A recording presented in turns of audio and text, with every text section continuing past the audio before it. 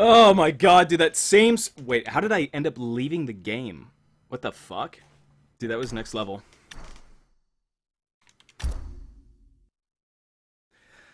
That one Scorpion string is so cancer. Wait, I actually just smashed my desk and simultaneously quit the game. I like that.